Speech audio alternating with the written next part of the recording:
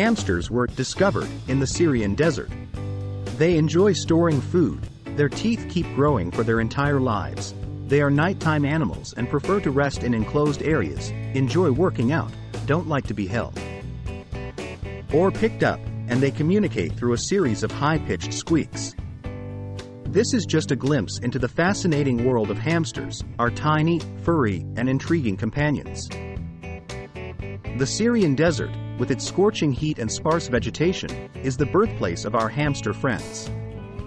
It's here where these resilient creatures adapted to survive, storing food in their cheeks for later use, a trait that still amuses hamster owners today. Hamsters have an interesting dental quirk, their teeth never stop growing. To keep them at a manageable size, hamsters gnaw on anything they can find. In captivity, they need wooden toys or chew sticks to maintain their dental health. Nighttime is when hamsters truly come alive. They are nocturnal creatures, sleeping through the day and becoming active at dusk.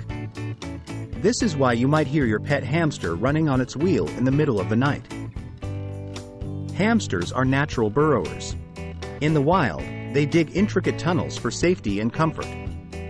In captivity, they prefer enclosed spaces, which could be anything from a tunnel to an old shoebox. Providing such spaces in their cage mimics their natural habitat and keeps them happy.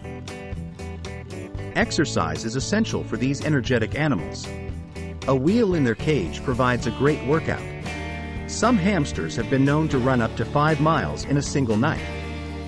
Without ample exercise, hamsters can become bored, overweight, or even depressed. Despite their adorable appearance, hamsters are not particularly fond of being held. They are solitary animals and can become stressed or anxious in unfamiliar situations.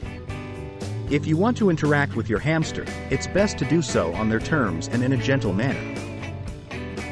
One of the most distinct characteristics of hamsters is their vocal communication. They use a series of high-pitched squeaks to express their emotions. A happy squeak might mean they've found a tasty treat, while an angry squeak could signal that they feel threatened. In conclusion, hamsters are remarkable creatures with unique behaviors and needs. They're not just pets, they're a window into a world of survival, adaptation, and instinct. Understanding these aspects helps us provide the best care for our tiny companions, ensuring they lead happy, healthy lives.